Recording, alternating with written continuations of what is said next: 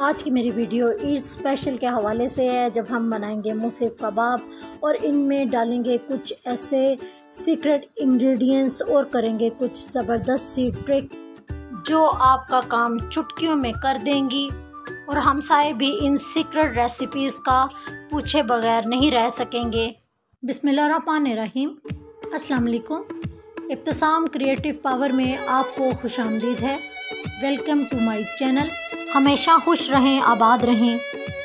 कोफ्ते तो हर कोई बहुत अच्छे बना लेता है, लेकिन इसके नरम होने का और ना टूटने वाले कोफ्ते बनाने का कुछ ऐसे राज हैं जो हम आपको बताते हैं। तो हम कोफ्तों में डाल रहे हैं नमक, मिर्च, ज़ीरा, खुशक धनिया चाट मसाला और थोड़ी सी काली मिर्च, सब वन वन टी स्पून ले लें और तीन ब्रेड के जो स्लाइसेस हैं, उनको मैंने सोक कर दिया हुआ था कोफ्ते इंतहाई नरम बनाने के लिए। हम इनको बारीक, बिल्कुल जाली से कोफ्तों को निकाल लेंगे या बारीक चॉप चॉप कर लें और उसके बीच में आप ये ब्रेड के जो स्लाइसेस है सोक किए हुए, वो भी अच्छी तरीके से चॉप कर लें और तमाम इंग्रेडिएंट्स में इसको मिक्स करके हाथों की मदद से मसलते हुए इसको बिल्कुल लचकदार बिल्कुल बना लें। और थोड़ी ही देर बाद जब हमने कोफ्ते बनाने हों तो वन टेबल स्पून के बराबर मीठा सोडा लें और तकरीबन आधा कप पानी लें और इनको भी मिक्स करके एक साइड पर रख लें और जब आप कोफ्ते बनाने लगें तो अपने दोनों हाथों पे ये मीठे सोडे और इसका अमेज़ा बना लें। इससे ये होगा कि जब आप कोफ्तों को फ्राई करेंगे, आपके कोफ्ते बिल्कुल भी नहीं टूटेंगे, ये मेरी गारंटी है। तो आपके नरम कोफ्ते और ना टूटने वाले कोफ्ते बहुत ज़बरदस्त रेडी हो जाएँगे और लोग भी पूछेंगे कि इतने ज़बरदस्त कोफ्ते और इतने टेस्टी को नरम कोफ्ते कैसे बने। तमाम कोफ्तों को मैंने बना लिया है और इस तरीके से अगर आप इसको सेव करने के लिए हल्का सा फ्राई करके सेव करना चाहें तो आप ऐसे भी सेव कर सकते हैं। नहीं तो आप इनको कच्चा भी सेव कर सकते हैं, लेकिन मैं इस वक्त इसको कच्चा ही सेव करूँगी। एक मैंने पार्ट ले लिया है लंबे रुख में तो तमाम कोफ्तों को रखने के बाद एक इसके ऊपर रैपिंग पेपर की तय लगाएँगे और दूसरी तय इसके ऊपर लगा कर हम अपने बॉक्स को बंद करके अपने डीप फ्रीज़र में सेव कर सकते हैं। आप जितनी देर मर्ज़ी, जब तक चाहें, आप इनको सेव कर सकते हैं। मज़ेदार, टेस्टी और रेस्टोरेंट स्टाइल के चपली कबाब बनाने के लिए कीमे को मैंने बिल्कुल बारीक चॉप कर लिया है और चॉप किया हुआ प्याज मैंने पानी निकाल कर इसके अंदर डाल दिया है। इसके अलावा जो टमाटर हैं वो भी अगर आप लें तो इसका भी पानी निकाल कर आप इसके अंदर शामिल कर लें। मैंने प्याज और टमाटर दोनों का पानी निकाल कर अलग से कर दिया है। वो मैं अपने बाबी क्यू कबाब के अंदर डाल लूँगी। अब इसके अंदर थोड़ा सा अदरक और लहसुन का पेस्ट डाल दें और इसके बाद हरी मिर्च चॉप की हुई, वो भी मैंने डाल दी है।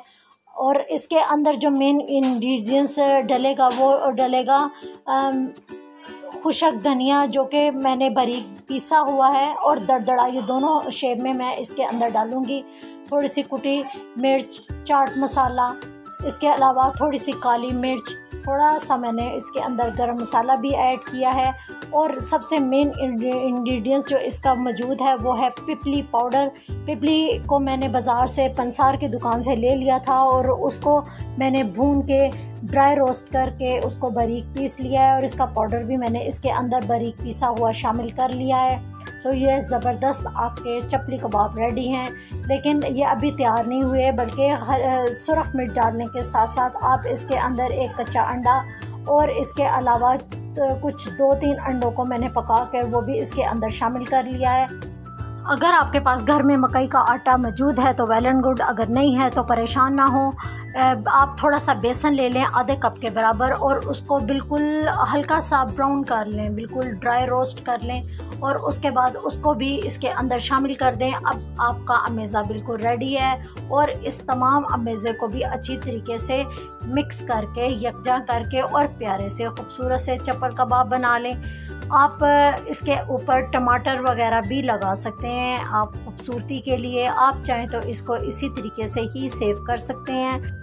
जैसे हमने कोफ्तों को सेव किया था, लेकिन आप इसको ट्रे में इसी तरीके से ही रैपिंग पेपर रखते हुए स्टेप बाय स्टेप रख कर सेव कर सकते हैं। मैं बहुत बहुत शुक्रिया अदा करना चाहूँगी अपने उन बहन भाइयों का जो मेरे चैनल पर आते हैं और मेरी वीडियो को वॉच करते हैं और अच्छे अच्छे कमेंट्स करते हैं। आप तमाम का बहुत बहुत शुक्रिया। अगर आप भी चाहते हैं कि मैं आपका शुक्रिया अदा कर सकूँ तो आप भी अपने कमेंट्स के साथ अपने शहर का नाम बताएँ। ताकि मैं आपका नाम लेकर, आपके शहर का नाम लेके आपको थैंक यू कह सकूँ। अब हम बनाने जा रहे हैं सीख कबाब। सीख कबाब के कीमे को भी मैंने बहुत बारीक चॉप कर लिया है। बारीक चॉप करने का ये फ़ायदा होता है कि कीमा, क्योंकि हमने ज़्यादा पकाना नहीं होता, बल्कि हम फ्राई में ही हमारा कीमा अच्छा पक जाता है। तो इसलिए मैंने इसको बारीक चॉप कर लिया है। तमाम इंग्रेडिएंट्स जो हमने डाले थे, उसमें नमक, मिर्च, कुटी हुई लाल मिर्च इसके अलावा पिसी हुई लाल मिर्च, धनिया, चाट मसाला, ज़ीरा, नमक और इसके अलावा खूबसूरत से कलर के लिए मैंने इसके अंदर थोड़ी सी हल्दी भी शामिल की है।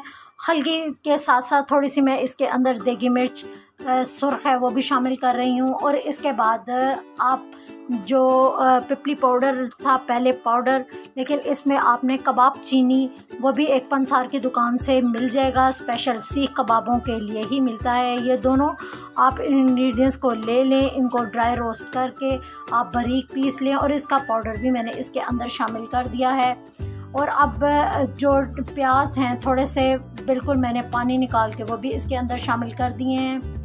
इसका अच्छा सा लुक देने के लिए अब इसको अच्छे तरीके से यकजा कर लें। इस तरीके से कि इसके अंदर लचक पैदा हो, ताकि आपके कबाब नहीं टूटें। इसको तकरीबन हम 10 से 15 मिनट अच्छे तरीके से हाथों की मदद से मसल लेंगे और हरी मिर्चें भी इसके अंदर शामिल कर देंगे।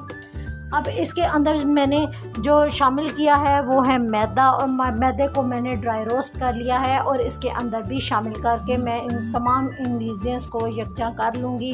कबाब बनाते हुए हमें अपनी फैमिली की पसंद का ख्याल भी रखना पड़ता है। बाज़ लोग ड्राई खाना पसंद करते हैं और बाज़ लोग इसकी ग्रेवी बना लेते हैं और बाज़ लोग इसको सिर्फ़ टमाटर की ग्रेवी में ही खाना पसंद करते हैं। इसलिए कबाब भी मैं दो तीन किस्म के बना रही हूँ। पहले वाले मैं स्टिक डालकर कबाब बना रही हूँ और इनमें स्टिक डालकर देखें कितने अच्छे रैपिंग पेपर की मदद से गोल शेप में कबाब बन जाएँगे और इससे आपका काम बड़ा इजी हो जाएगा। पहले हम कबाब लेते थे, इसको लंबी शेप करते थे और कबाब भी हमारा गिर जाता था और ये देखें कितना अच्छा इजी मेथड है कि हम इस तरीके से ढेरों ढेर कबाब बना सकते हैं। इसको हम बारबेक्यू के तौर पे भी यूज़ कर सकते हैं और आप पैन में इसको डीप फ्राई करने के बाद भी इसके टमाटर वाली ग्रेवी में भी इसको यूज़ कर सकते हैं। इसके अलावा आप पेंसिल की भी मदद ले सकते हैं और पेंसिल की मदद से जो इसका अंदर वाला सुराख होगा वो थोड़ा खुला होगा और इस तरीके से कबाब थोड़े आपके मोटी शेप में बनेंगे और आपकी ग्रेवी के लिए बड़े अच्छे तरीके से यूज़ हो जाएँगे। और अब एक लास्ट वाला तरीका है जो सिंपल तरीका है कि आप इसमें स्पून ले लें आइसक्रीम वाला और आप उससे भी कबाब बनाने में मदद ले सकते हैं। पेंसिल की जगह आप इसको भी यूज़ कर सकते हैं और इस तरह मुख्तु किस्म के आपके कबाब बिल्कुल रेडी हो जाएँगे। अब लास्ट में मैं इसको बारबेक्यू के लिए जब बनाऊँगी तो इसके ऊपर भी हल्की सी हल्दी की ब्रशिंग कर लूँगी, जिससे ये होगा कि इस बारबेक्यू के लिए इसका कलर बिल्कुल परफेक्ट हो जाएगा। तो मैं उम्मीद करती हूँ मेरी आपको ट्रिक्स और सीक्रेट इंग्रेडिएंट्स आपको पसंद आए होंगे। तो दुआ में ज़रूर याद रखिएगा। अल्लाह हाफिज़।